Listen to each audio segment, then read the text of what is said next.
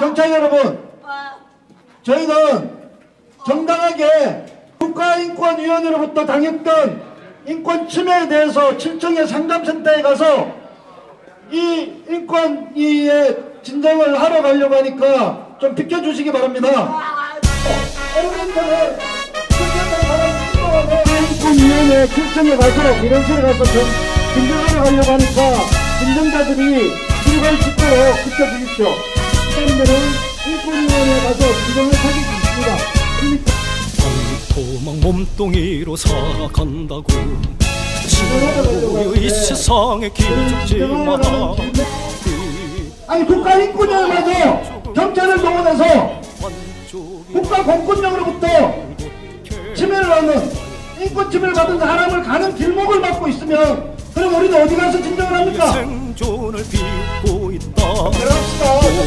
노동으로 일어설 기회마저 빼앗긴 형제여 다 차별의 폭력 눈총을 깨고 사백만의 힘으로 하나도 다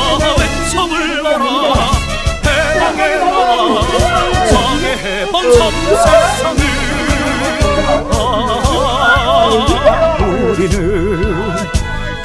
아픈 고통의 시련마저 참아 참아야 승리하리라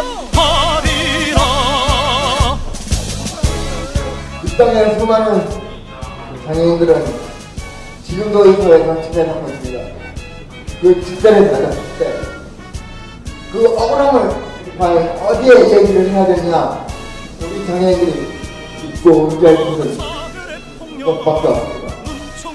그렇기 때문에 우리들은 여기를 분리할 수가 없는 거다.